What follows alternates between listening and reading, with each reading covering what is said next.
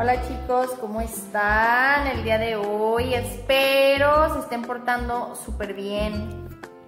Ok, el día de hoy veremos el tema la coreografía de la materia matemáticas.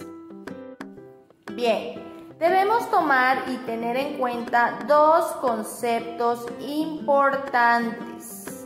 Ubicación de cuál es tu izquierda y cuál es tu derecha. Debes levantar tu mano izquierda y ahora la derecha. Háganlo en casita, por favor. ¿Cuál es la izquierda? Levanten su mano izquierda. ¿Y cuál es la derecha? Levanten su mano derecha. Ya que pudiste hacerlo e identificar la lateralidad, comencemos. Cada giro de vuelta en un solo ángulo esto pudimos observar en el tema y actividad del robot, si se acuerdan que lo hicimos ya en nuestro libro y en videos pasados. Les dejaré una imagen para que puedan apreciarlo de mejor manera posible. La imagen se las adjunté ya en nuestra plataforma. Siempre que totalmente, ya sea derecha o izquierda, es un ángulo. Ahora vámonos al libro y demos comienzo a esta actividad. Bien, empecemos a contestar los problemas de la página 130 de nuestro libro de desafíos matemáticos. Vamos a resolver el primer problema que dice así.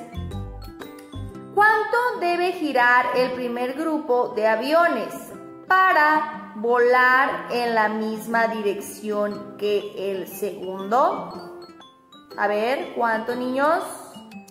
Acuérdense que en la actividad pasada les puse, eh, les expliqué un poco de qué trataban la media vuelta, la vuelta completa, la, vuelta, la, vuelta a la derecha, vuelta a la izquierda, media vuelta a la derecha o a la izquierda.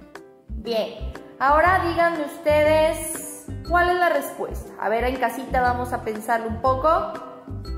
Muy bien, media vuelta a la derecha, perfecto. Número dos. ¿De cuánto debe ser el giro del coche? Número 2, para ir en, la, en el mismo sentido que el número 1. A ver, ayúdenme por favor. Media vuelta a la izquierda. Muy bien, niños. A ver, la número 3. ¿Cuánto debe girar la niña para ir hacia la calle primero de mayo? ¿En qué sentido? ¿Derecha o izquierda? A ver. Tiene que girar un cuarto de vuelta a la derecha. Muy bien, niños. Y bueno, a, a continuación contestaremos nuestros, eh, nuestras páginas del libro de texto desafíos de la 131 a la 136. Y por lo pronto vamos a ver un concepto muy importante que es, ¿qué es el ángulo? A ver qué es, ahí en casita ya lo pudieron consultar, ya lo saben, a ver. Bien, yo les voy a ayudar un poco.